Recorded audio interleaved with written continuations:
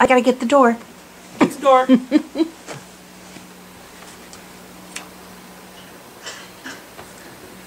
Father, Son, and Holy Spirit, we, we thank you for everything you've done for us. We thank you for the ability to, to learn your word in a free country. Lord, we thank you for giving the Israel, Israelites the judges. When Moses and, and Joshua left them to go home, you provided them with judges. And boy, do the Israelites need them. In Jesus' holy name we pray. Amen.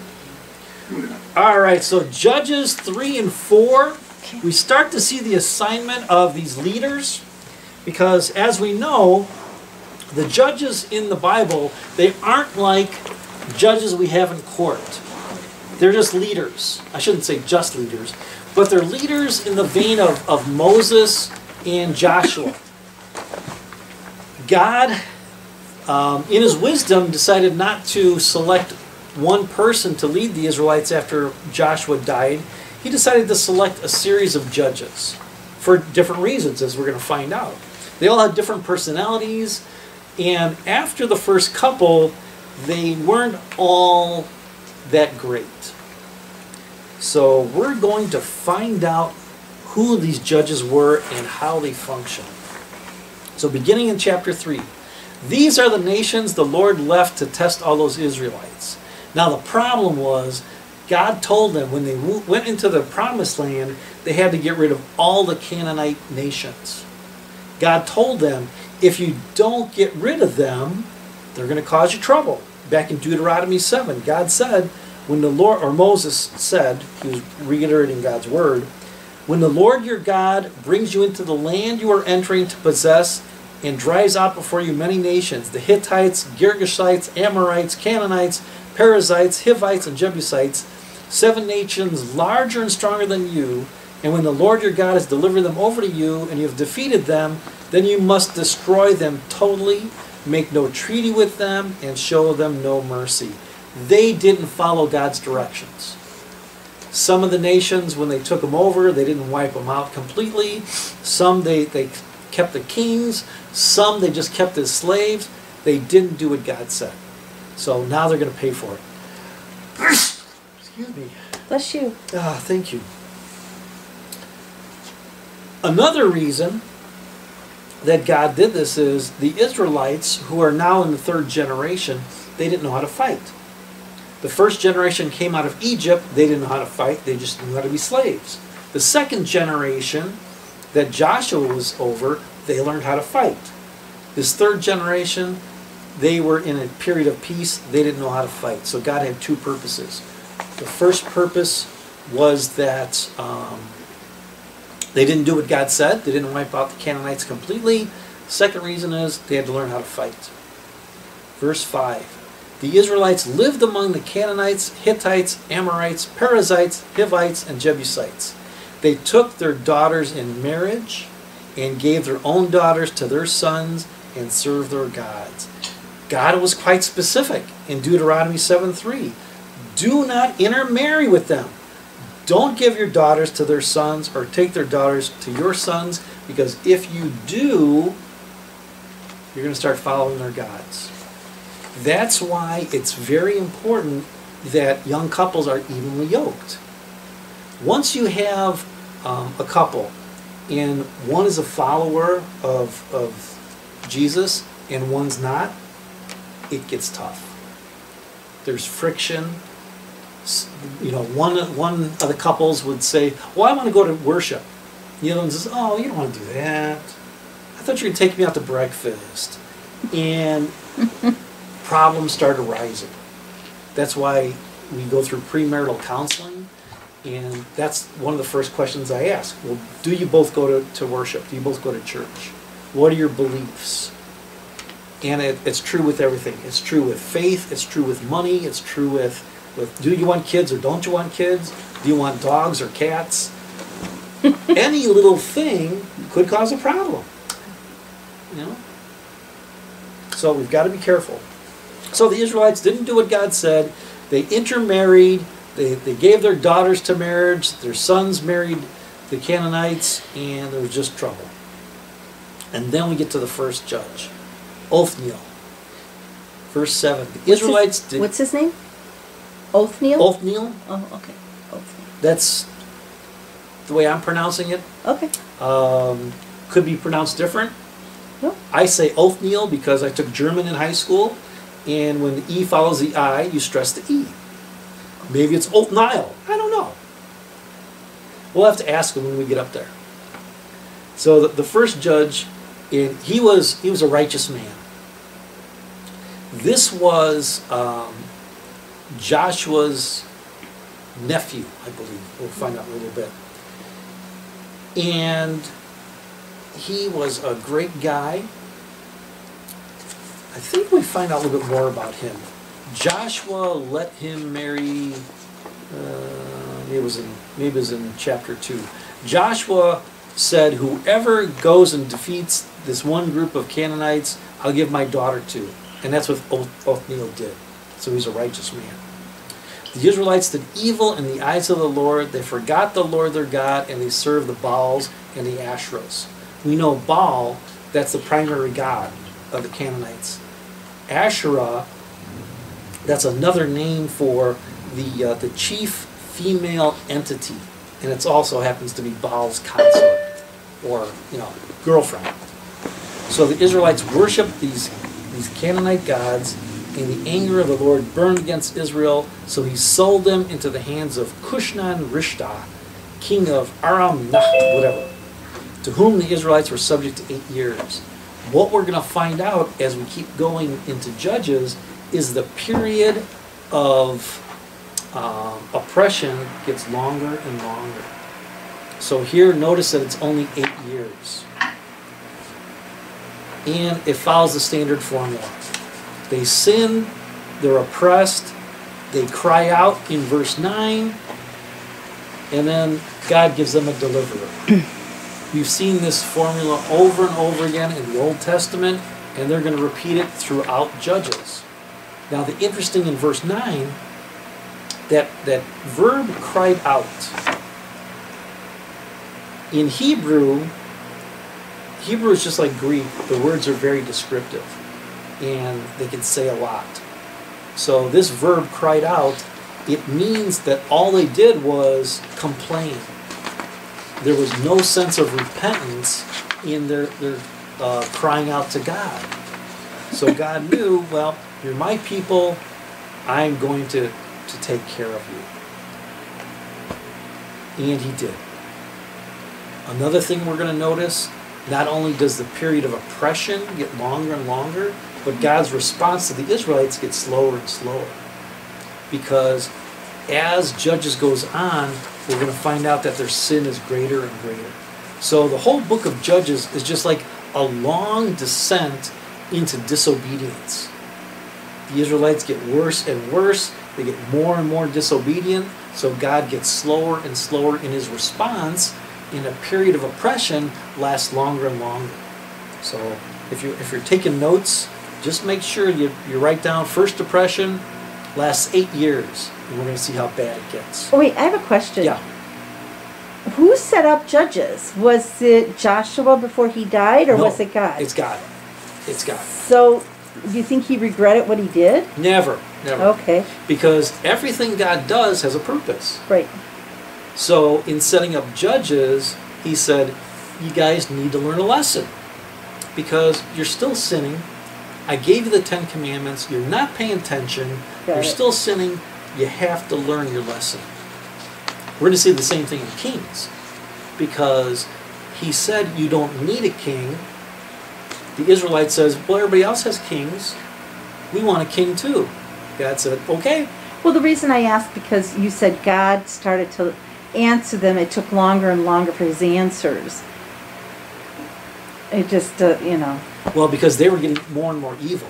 Ah, okay. Okay, so this whole- the, the whole book of Judges, we see the, the Israelites get worse and worse and worse. Okay, they started out mildly disobedient, and then they get really, really awful. Got it. Okay. And God answers answers their cries, and He raises up Othniel as the judge.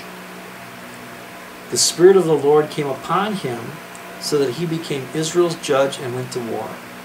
And the Lord gave Cushnan Rithshaim, king of Aram, into the hands of Othniel. You see this also when we saw it in Joshua and we saw it in Moses.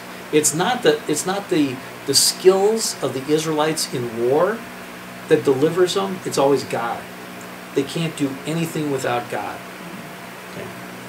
That's why some commentators say, you know, back in the first verse where it says, um, verse 2, he did this only to teach warfare to the descendants of the Israelites.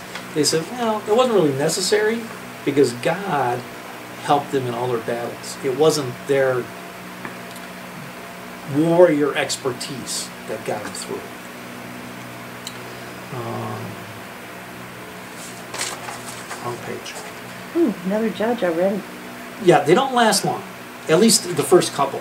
So what are we talking in years here for or um, Oath Othniel or Well, um, so Othniel was um, around for 40 years. oh wow. So he conquered the king, and in verse 11, we see that the land had peace for 40 years. Until what happened?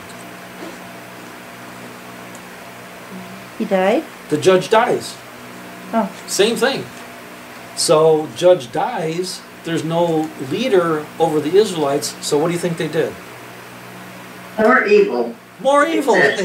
Exactly. Verse 12. Again, the Israelites did evil in the eyes of the Lord. As soon as the judge dies, they go back to their old ways. No wonder Oh. God is getting aggravated. Huh, huh, huh. You think God's getting aggravated with our country? I was Yes. gonna say, this is right, going right along with what Yeah. we're doing now. Yeah, it's true. You're Yeah. right. It is. You know, it's. You wonder when is God going to get fed up? When is, when is God going to have enough? But we have that clue. Matthew 14 tells us. Jesus says, I'll come back when the gospel has been told around the world. That hasn't happened. I don't see that happening for a long time yet. Until Christians get the right attitude and start spreading the good news. So if we want Jesus to come back, let's get busy. So, again, the Israelites did evil in the eyes of the Lord. Because they did this evil, God gave Eglon, king of Moab, power over Israel. oh no, Moab. And Moab, we know how bad those Oh, Moabs, Moabites are. Ge- Getting the, yeah, um, ay, ay, ay, um, where am I at? When, whenever Israel's disobedient, God gives them over to one of their enemies. Oh, that's what it means. Right. So we're going to see that usually in different words. So whenever we see the Lord gave a king power over Israel, that means that king or that country has taken over Israel. Okay? Getting the Ammonites and the Amalekites to join him. So it's three countries taking over the Israelites. Um, the Moabites, Am- Ammonites, and Amalekites, and they were all nomads. So they were kind of always floating around Israel, and they were always raiding the Israelites. And this time God said, All right, I got enough. They're going to take you over. Eglon came and attacked Israel, and they took possession of the city of Palms. Now, city of Palms was another name for Jericho at that time. So they're right along the border of the Promised Land. Because remember when they came into the Promised Land, they stopped in Jericho first. So this is part of the country that's just on the border of the Promised Land. The Israelites were subject to Eglon, king of Moab, for 18 years. Hmm. So how long was the first oppression? Eight. Eight years. Eight. Eight years. Now we're up to 18 already. So they're getting worse. The oppression is lasting longer. So guess what happens in verse 15? I'm sorry. I'm sorry. Once again, the Israelites cried out to the Lord. They're not repenting, they're just crying, they're just bawling. It's like when our kids do something bad and they whine. They're not Mhm. going to repent, they're going to do the same thing over again, just like the Israelites. Ehud a left-handed man. Thought that was funny. Yeah. Why is that a big deal? Must have been an odd, it must not have happened very often. Right. It didn't happen very often because mo- the majority of the people are right-handed. The interesting thing I found out, um, growing up Catholic, left-handed kids were always persecuted because the nuns wanted you to write with your right hand. Yep. So being a lefty was awful in their eyes. It's obvious the nuns didn't read the Bible because being left-handed in the Bible was a special trait. If you were left-handed, you were you were like fantastic. My brother and sister are both left-handed. Yeah, well they're different. They're not that fantastic. oh I am. I am. You're lefty. Okay, so you're okay. Her brother and sister, they're not that good. But it, I'm just kidding. I'm just kidding. So being left-handed, it, it kind of confused the other people when you're in a battle. So they're used to somebody coming at them right-handed. All of a sudden, someone's coming at them left-handed. That leaves their whole side undefended. So they couldn't. They didn't know what to do. Um, and there was a whole whole bunch of Benjamite, Benjamites from the tribe of Benjamin who were ambidextrous. So they could shoot their bows with either hand, or they could use either hand in warfare, so that made them that much more powerful. So in this case, being left-handed was a super, super skill. And we're going to see why, especially with Ehud. Yep. Or Ehud. Probably Ehud. Yeah. E H. Oh, and he was the son of a Benjamite. Exactly. Hmm. Okay, so he was the son of a Benjamite. Now Ehud had made a double-edged sword about a cubit long. Now a cubit, it's they said it's about 18 inches, so almost two feet. So it's a pretty pretty nice sized sword. Double edge, so he can cut from both sides. So this guy knew what he was doing. And he strapped it to his right thigh under his clothing. Now this is important because um, usually, if you're right-handed, the sword would be on your left thigh. Okay, so think about that. His sword isn't on his left side; it's on his right side. That's going to be important in the next couple verses. he pres- presented a tribute to Eglon, king of Moab, who was a very fat man. There's a reason for that too, that we have the detail. After Ehud had presented the tribute, he sent on their way those who had carried it in. So he sent off the rest of the Israelites. But on reaching the stone images near Gilgal, so these are idols, okay, and that's important um, because what the Bible is trying to get across is he left the, the idols behind him. Okay, so he was a righteous man. He left the idols behind him. He himself went back to the king and said, Your Majesty, I have a secret message for you. So this guy Eglon was so egotistical, he says, Oh, this guy's got a special message for me. Only me. So the king said to his attendants, Leave us. He got rid of all his bodyguards, and it's only him and Ehud. Big mistake.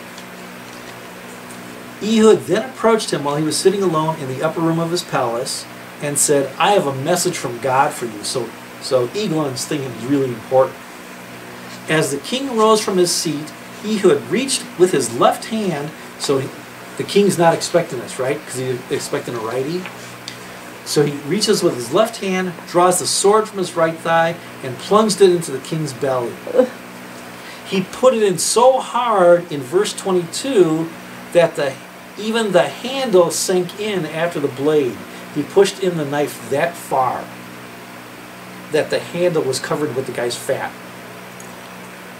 And his bowels discharged. This is also important. So, what this means is the guy went to the bathroom right there on the floor. Okay? Ehud did not pull the sword out, and the fat closed over it. Ooh. Then Ehud went out onto the porch. He shut the doors of the upper room behind him and locked them. So Ehud is able to escape. Finally, the servants come back and they found the doors of the upper room locked. Verse 24. They said he must be relieving himself in the inner room of the palace. the smell was so bad from Eglon emptying his bowels after getting stabbed that the servants thought he was going to the bathroom. So they didn't want to they didn't want to break in on the king while he's going to the bathroom, so they just stayed outside the door. So by them waiting so long, the king died. This was one of the few times in the Bible where a fat man was mentioned. Yeah, I yeah. agree. It doesn't happen often. He must have been really, Well, and, and you think how how decadent he had to be. Because back in the day they didn't have a lot of food. So this guy must have eaten everything that was around him. So Gary's right, not a lot of fat people back there. So once again, Ehud gets away. He passes by the idols, once again leaving the idols behind him, and escaped to Seirah. When he arrived there, he blew a trumpet in the hill country of Ephraim, and the Israelites went down with him from the hills, with him leading them. Verse 28. So not only is the king gone, they're now going to wipe out the country. Follow me, Ehud ordered, for the Lord has given Moab, your enemy, into your hands. Once again, it's not their military prowess that's going to defeat the, the Moabites, it's God. God is going to wipe them out. So they followed Ehud down and took possession of the fords of the Jordan that led to Moab. They allowed no one to cross over. At that time, they struck out about 10,000 Moabites, all vigorous and strong, not one escaped. That day, Moab was made subject to Israel, and the land had peace for 80 years. How long was the first period of peace? eight, 40. forty. 40. Now it doubled. It doubled. So God is pleased that Ehud did what he did. He not only gave the Moabites over to the Israelites, but the peace lasted for 80 years.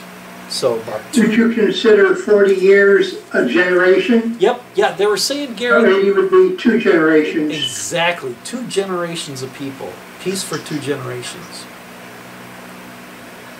But Ehud has to die, and Shamgar comes up. Shamgar of Anath, who struck down 600 Philistines with an ox goad. He too saved Israel.